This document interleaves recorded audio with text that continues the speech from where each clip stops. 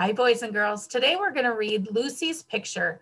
It was written by Nicola Moon, and the pictures were by Alex Ayliffe. Here's some pictures made by some boys and girls.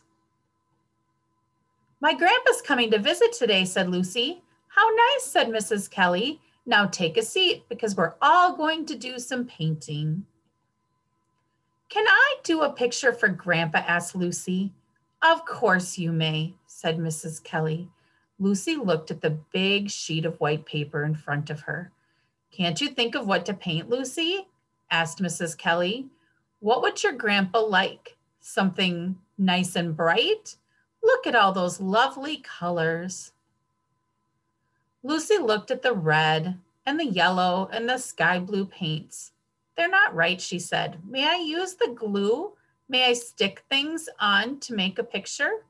You mean a collage? Of course, but you'll have to sit at another table. There's not enough room here. Lucy took her paper to an empty table in the corner and she went and found a bottle of glue, some scissors, and the box of scraps. Lucy loved Mrs. Kelly's box of scraps. She liked plunging her hands deep into the box and feeling with her eyes shut. Lucy started her picture. She cut some soft green velvet into curvy mounds for hills and stuck them on the paper.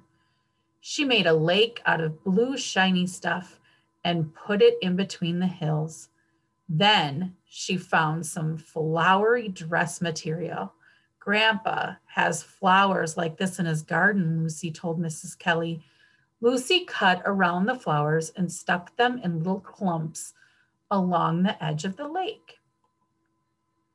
At recess, Lucy was too busy to play. Instead, she collected twigs, leaves, and two small feathers. Then she filled her empty juice cup with sand from the sandbox. At last, it was time to go inside. Now, Lucy was even more excited about Grandpa's picture.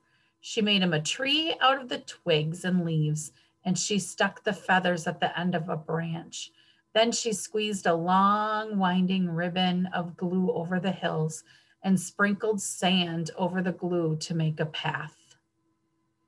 My grandpa's got a dog, Lucy told Mrs. Kelly. She's called Honey because that's what color she is. When Mrs. Kelly wasn't looking, Lucy trimmed a piece of her own hair and glued it to a dog she had made from a piece of paper. That's lovely, Lucy, said Mrs. Kelly. When it was story time, she put Lucy's picture safely on the side to dry along with the other paintings. Lucy couldn't wait to go home. She hadn't seen Grandpa in a long time. Her mother was reading as usual, but today there was someone with her. Grandpa, cried Lucy. She nearly knocked him off his feet.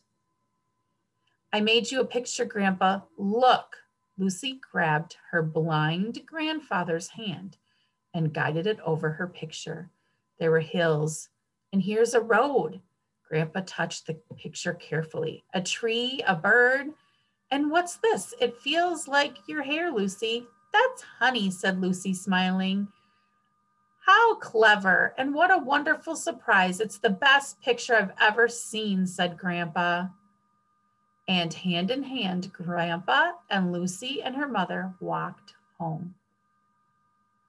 I hope you enjoyed Lucy's picture.